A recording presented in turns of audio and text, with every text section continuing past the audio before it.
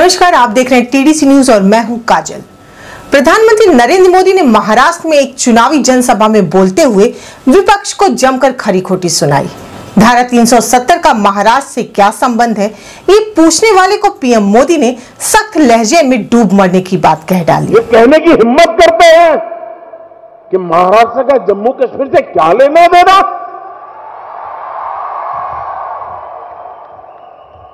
डूब मरो डूब मरो डूब मरो। प्रधानमंत्री ने कहा कि वो हैरान हैं कि छत्रपति शिवाजी की धरती पर राजनीतिक स्वार्थ के चलते ऐसी आवाज़ उठाई जा रही है।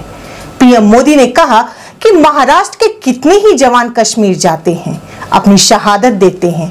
ऐसे में कश्मीर से महाराष्ट्र का वास्ता पूछने वालों को अपनी सोच और बयानों पर शर्म आनी चाहिए। मैं हैरान हूँ।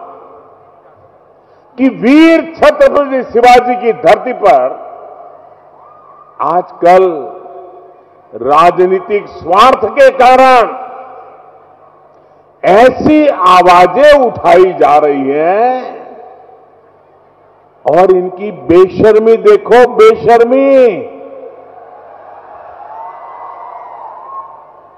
ये ये खुले आम कह रहे हैं।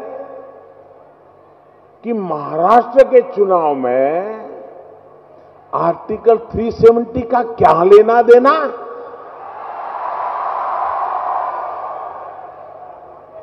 जम्मू कश्मीर का महाराष्ट्र से क्या लेना देना?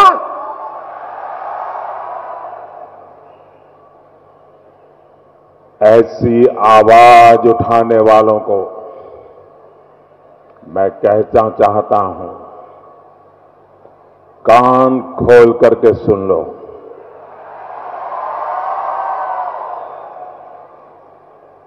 जम्मू कश्मीर भी और वहाँ के लोग भी माँ भारती के संताने ही रहते।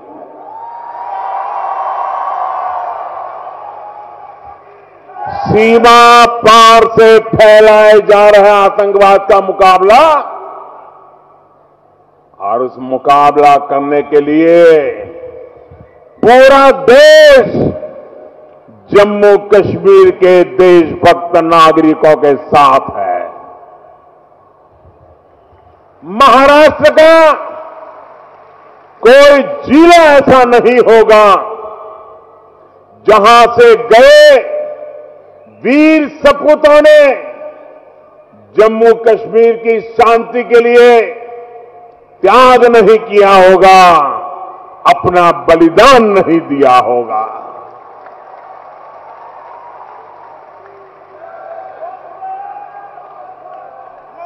वो मौत को मुट्ठी में लेकर के महाराष्ट्र का वीर जवान उस बर्फीली चोटियों पर जम्मू कश्मीर की धरती पर आतंकवादियों से लोहा लेता था, क्योंकि उसके दिल में यही था कि मैं छत्रपति शिवाजी महाराज की धरती से आया हूँ और मेरे हिंदुस्तान को, मेरे हिंदुस्तान को रत्ती भर चोट नहीं पहुँचने दूँगा, अगर जान की बाजी लगा दूँगा लेकिन देश की हिफाजत करता रहूँगा।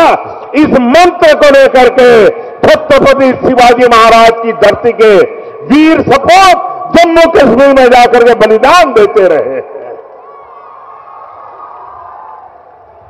हमें गर्व है महाराष्ट्र के उन सपूतों पर जिन्होंने जम्मू कश्मीर के लिए अपना सर्वोच्च न्यौछावर कर दिया।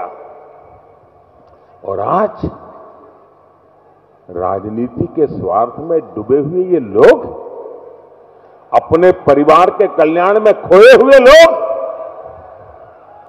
ये कहने की हिम्मत करते हैं कि महाराष्ट्र का जम्मू कश्मीर से क्या लेना देना?